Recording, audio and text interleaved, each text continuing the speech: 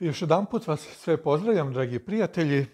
Evo, imam pred sobom knjigu otkrivenja. U prethodnom poglavlju smo, zato što sam morao putovati pa se nisam dugo zadržao na to deveto poglavlje, sada će biti deseto poglavlje na redu, anđeo sa knjižicom.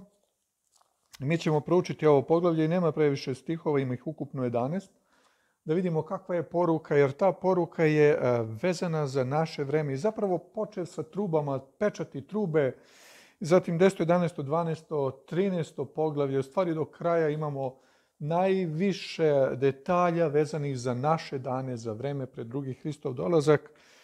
I koliko god da se događaji e, na zemlji odigravaju u toj složenoj formi, u tom, tim složenim relacijama, paralelno sa tim dešavanjem dole u ljudskoj ravni na zemlji, na nebu se također dešavaju događaji i Bog nebeski se obraća nama nekada direktno kroz određene vizije i određena viđanja koje je pokazao Jovanu, da nam kaže i da nam ukaže na neke detalje značajno bitne za naše vreme, da prepoznamo događaje i da prepoznamo kakav naš odnos treba da bude prema Bogu, prema svim tim događajima, prema porukama koje nam Bog upućuje i prema situaciji u kojoj se zapravo nalazimo.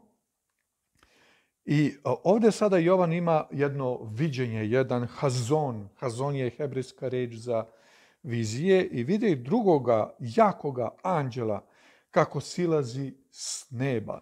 I stalno vidimo, eto, kada smo čitali sedmo poglavlje, potom vidi četiri anđela gdje stoje na četiri ugla zemlje. Sada imamo ovdje jednog snažnog, hazak, gibor, jakog anđela, kako silazi sa neba, obučen ili zaodeven oblakom i duga beše na njegove glavi i lice njegovo kao sunce i noge njegovo kao vatreni stubovi.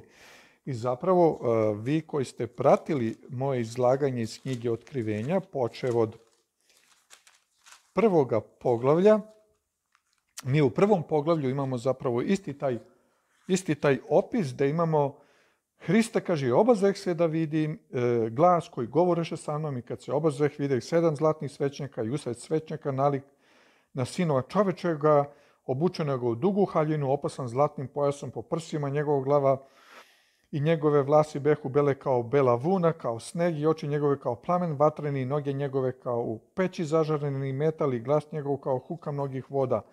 I ovdje se slična slika daje, kaže, lice njegovo beše kao sunce, to je blistavo i sjaj sunca kojeg mi ne možemo gledati, dakle, reč je također o, o, moćnom biću i noge njegove kao vatreni stubovi i imaš u svojoj ruci otvorenu knjižicu. Sada bi mnogi postavili pitanje da li je to ona knjiga koja je u ruci svemogućega ili je to neka druga knjiga i stavi svoju desnu nogu na more, a već sam rekao da more predstavlja narode, kolena, plemena i jezike, to piše u otkrivenju 17. možete proveriti, a vode što su video, one su narodi, kolena, plemena i jezici, i stavi jednu nogu svoju na, na more, a levu na zemlju, a zemlja, vidjeli smo također šta predstavlja, vidi drugu zver gdje izlazi iz zemlje koja imaše dva roga kao jagnjeta, to također dolazi u 13. glavi i u 12. glavi knjige otkrivenja, te povika veoma glasno kao lav kada riče, zašto kao lav? I, zato što je Hristos lav od kolena judina. I ovdje kao da imamo viziju e, Hrista koji se obraća narodu, onaj koji ima kontrolu nad vodama, to jest narodima, kolinima, plemenima i jezicima, koji ima kontrolu nad zemljom, znači nad celokupnom Božjom tvorevinom i sve što se na njoj nalazi. I on sada obznanjuje jednu poruku, jednu značajnu poruku i kada povika progovoriše sedam gromova svojim glasovima, onih sedam gromova koji stoje pred, koji su pred Božjim tronom, oni govore svojim glasovima. Međutim, interesantno je da ovdje i kada sedam gromova i kada sam kada progovoriše sedam gromova, nameravao sam da pišem, tada ču glas neba koji govori za pečatišta, rekoše sedam gromova i to ne piši. Jednostavno ta objava, sedam gromova, zašto sedam Zato što je to broj punine. Zašto sedam pečata? Zato što je to broj punine. Zašto sedam truba? Zato što je to broj punine.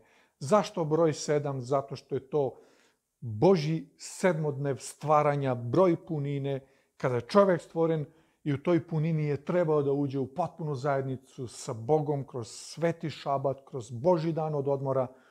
Naravno čovjek je sagrešio i e, e, to se nije desilo i sada smo blizu vremena kada će se punina Božje istine otkriti pred ovim svetom i govor ovih sedam gromova koji su pred prestolom zapečatišta rekoše sedam gromova i to ne piši. To, to, je, to je takva izjava koja ne treba da dođe do sinova ljudskih.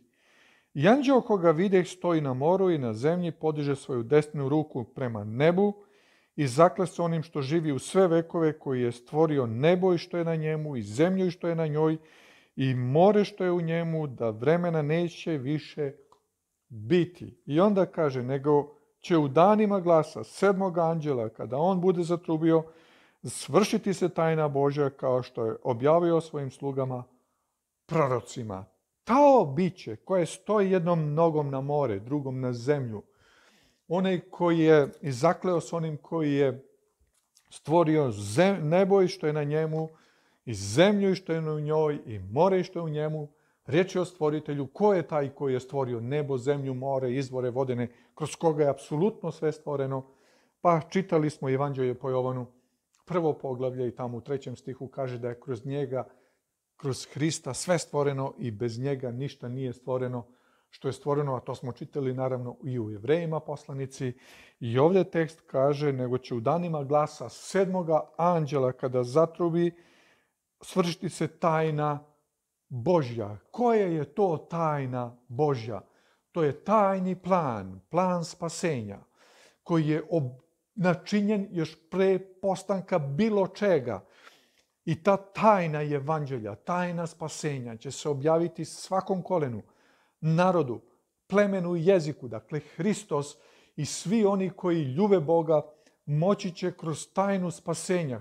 Apostol Pavle kaže, molite se za mene, da me Bog ispuni duhom svetim, da mogu da objavim tajnu evanđelja narodima, kolenima, plemenima i jezicima. I u danima glasa sedmog anđela kada zatrubi, kada će nastati tišina na nebu za jedno izvesno vreme, kada će se neznabošci razneviti do beskonačnosti zbog čega, zbog evanđelja koje će se ispropovedati svakom kolenu, narodu, plemenu, jeziku, kada će biti obuhvaćeno i more i zemlja i sve što živi na moru i na zemlji, sva bića će biti obuhvaćene na ostrovima, na poluostrovima, na kontinentima i svi ljudi će znati da je evanđelje dobra vest, da se ljudi mogu spasiti kroz Hrista, da se ne trebaju pokloniti zveri i žigu njezinom i broju njezinom, da ne trebaju da, da, da, da se poklone tom kipu koje je načinila ta druga zver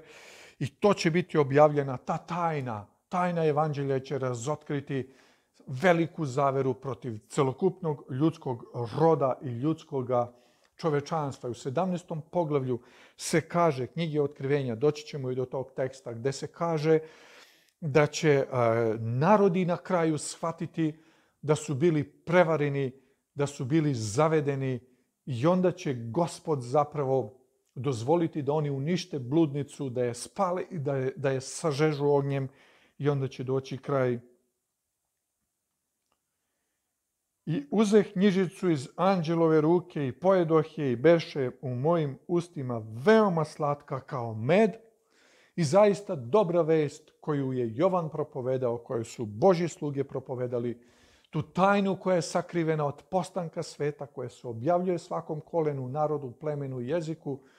Ta dobra vest se širi i ljudi mogu da je čuju i ona je slatka u ustima kada se objavljuje. Međutim, tekst kaže, a kada je pojedoh, beše gorka u mome stomaku. I zaista kada posmatramo reformaciju, taj plamen reformacije od Martina Lutera pa do naših dana, vidjet ćemo da je u početku propovedanje bilo sa puno vatre, sa puno žara, onda je došlo progonstvo i mi smo imali ovaj 20. vek koji je bio posle drugog svetskog rata, ta druga polovina, koje je bilo relativno vreme mira, kad je evanđelje moglo da se propoveda i mnogi su tada prihvatili evanđelje i sa puno žara su ga propovedali, pogotovo kad se bližila blizu 2000. godina jer se očekivalo nešto. To je prošlo, pošlo je, počeo je ovaj treći milenijum i onda su se ljudi nekako malo umorili. Međutim, e, e, isto će se desiti ovim danima kao u apostolsko doba. Punina duha Božjega će se izliti na svete i evanđelje će se propovedati svakom kolenu, narodu, plemenu, jeziku sa puno vatre, sa puno žara, sa puno svetlosti, puno uh, čuda Božji koja će se dešavati i naravno to će izazvati veliki gnev neprijatelja kao što je izazvalo veliki gnev neprijatelja u vreme apostolsko kada su ih gonili kao zveri i kada ih je blesavi Neron progonio i kada je zapalio Rim i za to je, za, to je optužio hrišćane da su ga oni zapalili i kaže, gorka je bila u mome stomaku i, i rekoše mi, treba ponovo da prorokuješ mnogim narodima, narodnostima i carevima. I zaista mi to danas vidimo, tu knjižicu, dobru vest, evanđelje Božje, koje se propoveda svakom kolenu, narodu, plemenu i jeziku, tu svetu knjigu Božju koja otkriva istinu Božju, koja otkriva svetlost Božju i evanđelje Božje, mi smo na pragu velikih događaja i zaista je Gospod dao da se svetlost istine otkrije ljudima, da je ljudi mogu čuti, da se mogu opredeliti. To će izazvati također negodovanje onih koji su izabrali tamnu stranu, ali to, to je manje važno. Bitno je da ljudi čuju istinu i evanđelje i naravno da se priprave za drugi slavni Hristov dolazak. I evo ovdje ću stati sa ovim desetim poglavljem. Da si blagoslovljen, gospode, Bože sveti, silni, uzvišeni, za ljubav i milost Tvoju, za dobrotu i za dar spasenja. Ti blagoslovi sve nas i čuvaj nas po Tvojoj milosti. Blagoslovi reč Tvoju koja se propoveda svakom kolenu, narodu, plemenu i jeziku. Tu Tvoju tajnu koja je sakrivena od postanka sveta, tajnu evanđelja koja je danas objavljena i preko Hrista objavljena celome svetu. Neka Ti je slava na svemu. Budi blagosloveni, čuvaj nas, sve nas, drage prijatelje, i pripravi nas za tvoj skori dolazak, a tebi sva zahvalnost, moć, sile i čast, Bože sveti u Hristovo ime večno. Amen. Lijep pozdrav svima, dragi moji prijatelji.